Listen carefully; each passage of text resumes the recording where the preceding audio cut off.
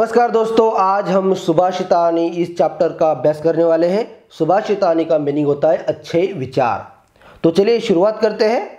तो सबसे पहले हम श्लोक पढ़ेंगे, श्लोक का उच्चारण समझेंगे, उसके बाद तात्पर्य और उसके बाद लाइन टू लाइन मीनिंग तो चलिए शुरुआत करते हैं। गुणा गुणेज्ञेषु गुणा भवन्ति, ते निर्गुणम प्राप्य भवन्ति दोषाः, सुस्वादुतोयाः प्रभवन्ति नद्यः, समुद्रमासाद्य भवन्त्यपेयः। तात्पर्य यह है कि कि गुणवान व्यक्तियों में जो गुण होते हैं, गुण ही रहते हैं। मतलब अच्छी तरह सही सलामत रहते हैं। मगर वही गुण यदि बुरे व्यक्ति के पास चले जाते हैं तो वो बुरे बन जाते हैं।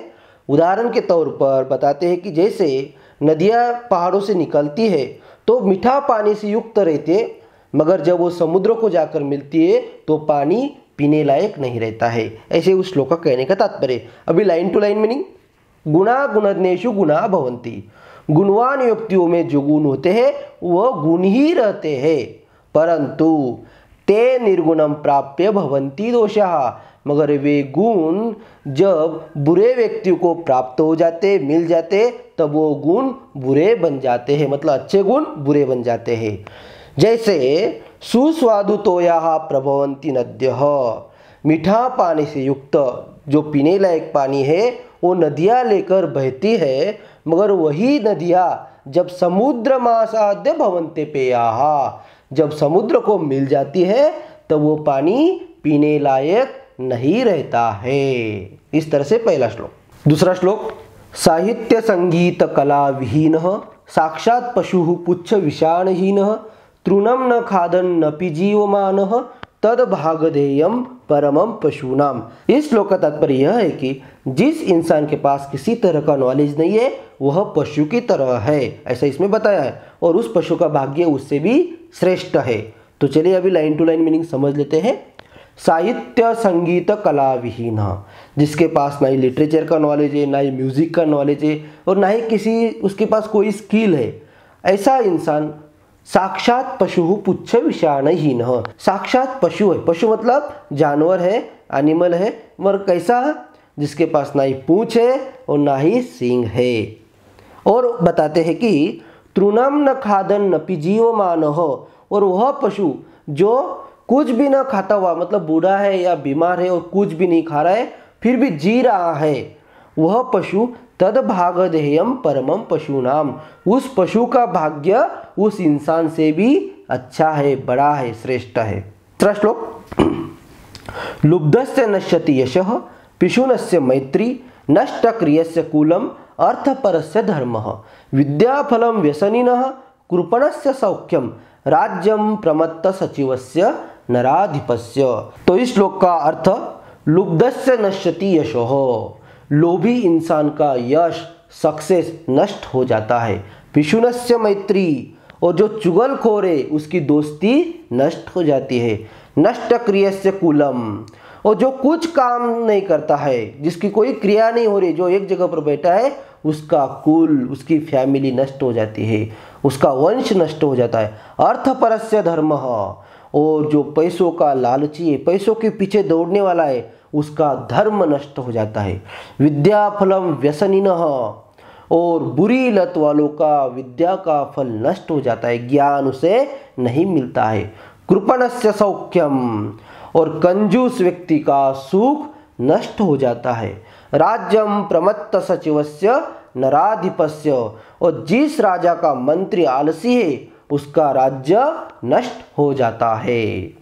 चौथा श्लोक, पित्वा रसम तु कटुकम मधुरम समानम माधुर्यमेव जनयन मधुमक्षिकासौ संतस्तथैव समसज्जन दुर्जनानां, श्रुत्वा वचः मधुर सूक्त रसम सृजंती इस श्लोक का तात्पर्य यह है कि जिस तरह से मधुमक्खी, कड़ू, मधुर, किसी तरह का भी रस सेवन करके अच्छा ही रस निर्माण करती है, जिसे हम हनी कहते हैं, वो मिठाई होता है उस तरह से सज्जन, बुरे, अच्छे वचन सुनकर अच्छा ही बोलते हैं। लाइन टू लाइन मीनिंग पित्वा रसम तु कटुकम मधुरम समानम, कड़वा हो या मीठा हो, एक समान रस पीकर, माधुर्यमेव जनयन मधुमक्षिका सौ वह मधुमक्खी मधुरता ही मतलब मधुर रस ही निर्माण करती है। जो हनी होता है, वो मीठा ही होता है।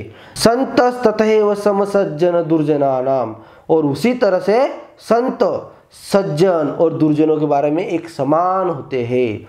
श्रुत्वा वच मधुर सुक्त रसम सृजंती मतलब सज्जनों के और दुर्जनों के हर तरह के वचन सुनकर जब वो बोलते हैं तब वो मधुर ही बोलते हैं, मीठा ही बोलते हैं, भला ही बोलते हैं।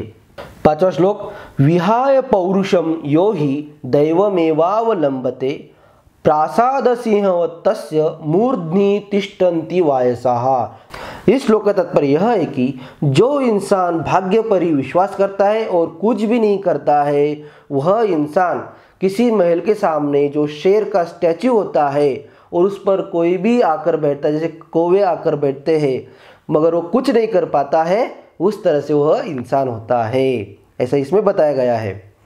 तो श्लोक का लाइन टू लाइन मीनिंग, विहाय पौरुषम यो ही दैवम एव अवलंबते। जो इंसान पौरुषम मतलब सामर्थ्य, अपनी ताकत को छोड़कर केवल भाग्य पर ही विश्वास करता है, भाग्य का ही सहारा लेता है वह इंसान प्रासाद सिंहवत्तस्य मूर्धनि तिष्ठन्ति व ऐसा प्रासाद सिंहवत मतलब महल के सामने जो शेर का स्टैचू होता है और उसके ऊपर जैसे कोवे आकर बैठते हैं, उस तरह से वह इंसान हो जाता है। मतलब कुछ काम का नहीं रहता है। मतलब उसके जीवन में कोई प्रगति, कोई ग्रोथ नहीं हो सकता है।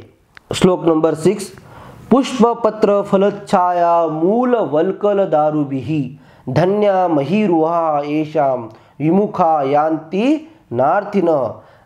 इस श्लोक में पेड़ों का महत्व बताया गया है कि पेड़ पेड़ का हर एक पार्ट किसी ना किसी काम के लिए आता है। तो यही इस श्लोक में बताया गया है। लाइन टू लाइन मीनिंग पुष्प, पत्र, फल, छाया। पुष्प मतलब फूल, पत्र मतलब पत्ते। फल मतलब फल। छाया मतलब छाव, मूल मतलब पेड़ का मूल, वलकल मतलब पेड़ की छाल, दारू मतलब पेड़ की लकड़ियाँ। इन सब के द्वारा पेड़ धन्य है, क्योंकि इन सब का जो यूज़ है, वो हर कोई करता है। धन्य महिर हुआ हा, इसलिए पेड़ धन्य है। महिर हुआ मतलब पेड़। ऐशाम विमुखा यान्ति नार्थिन न अर्थिन। अर्थिन मतलब याचक। याचक मांगने वाला जो पेड़ के पास आता है, वो कुछ ना कुछ लेकर ही जाता है। विमुखा मतलब कभी भी खाली हाथ नहीं जाता। इसलिए ये पेड़ धन्य है। सातवां श्लोक।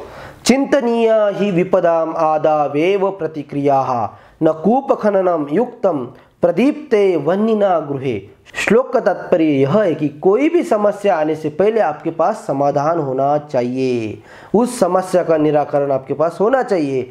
नहीं तो घर में आग लग गई और कोई कुआँ खोद रहा है। ये कुछ सही नहीं, क्योंकि कुआँ खोदते खोदते वो घर भी जल जाएगा और कुछ फ़ायदा भी नहीं होगा। वही इसमें बताया गया। चिंतनीय ही विपदाम आदा वेव प्रतिक्रिया। चिंतनीय, सोचना चाहिए। विपदा मतलब संकट, समस्या प्रॉब्लम से पहले प्रतिक्रिया। उसके ऊपर निराकरण, समस्या निराकरण आपको ढूंढना चाहिए। न कूप खननम युक्तम। कुआ खोदना सही नहीं है। कब? प्रदीप्ते वनिना गृहे। जब घर में आग लग गई और तब कुआ खोद रहे हो ये कुछ सही नहीं है। तो इस तरह से आज हमने इस पार्ट का अभ्यास कर लिया है, समझ लिया है। आगे हम क्वेश्चन आंसर दे रहे हैं, आप वो देख लीजिए। धन्यवाद।